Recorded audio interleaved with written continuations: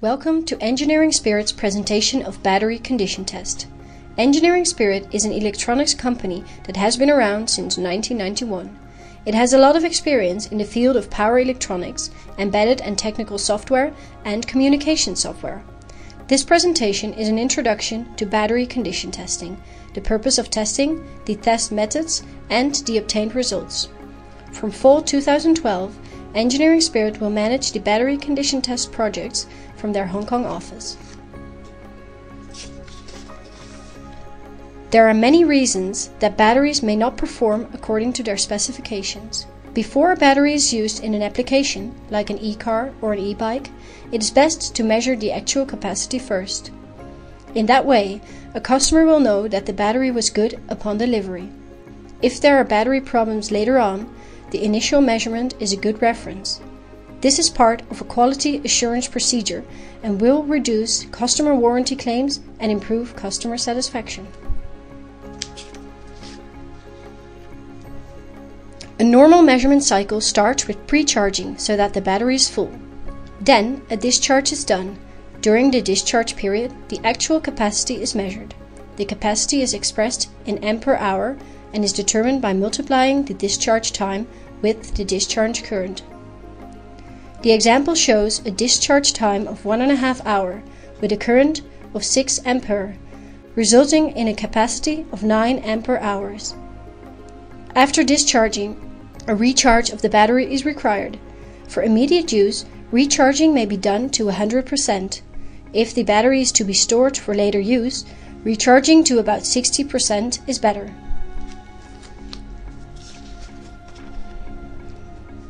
The results of a test are written in a test report. The report has two sections. First, a table with pass or fail of the battery capacity and charger current and voltages. Second, the graphs of both the discharging phase and the charging phase. Both graphs show voltage and current, giving a good indication of the battery's behavior. On the discharge graph, even a battery impedance measured at 100 Hz is plotted. There's also a possibility to do a longer term impedance measurement with a special measurement function. The parameters are compared to the battery and charger minimum requirements. This way, a pass or fail decision can be made by the program and be printed on the report.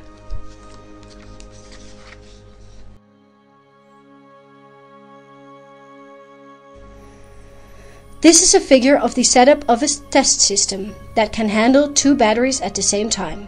In the center is a BA500 that has connections on the top side to the mains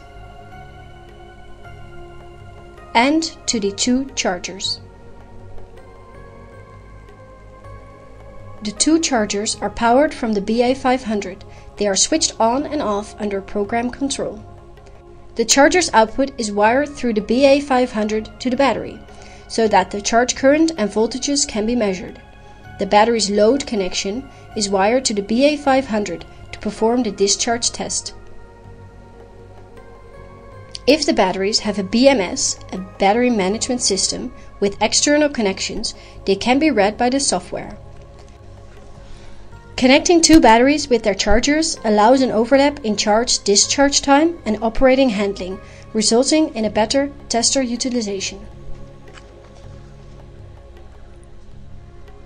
Up to 32 BA500 analyzers may be connected to a single PC using USB. The software that controls the analyzers will list all the analyzers and can start tests. The battery serial numbers may be used to identify the test protocol. In order to prevent typing errors, the use of a barcode scanner is preferred. Based on the serial number, the test profiles will automatically be identified. Test profiles are the description of requirements that apply to the battery and to the charger. Also, one or more measurement procedures are defined in the profile.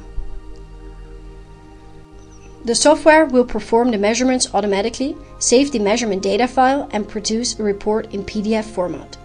For lifetime cycling tests, result records are kept in a spreadsheet file.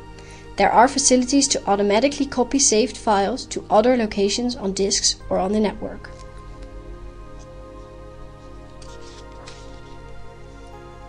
Since customers will appreciate or demand proof of quality of delivered batteries, a test report in the form of a PDF file for each battery will be provided.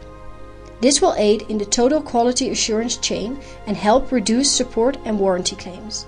The fully automated test setup minimizes operator mistakes and minimizes costs. The BA500 analyzer is a compact unit that can easily be stacked in a fire protective cabinet. This concludes the introduction to battery condition testing. More information is available on our website www.batteryconditiontest.com.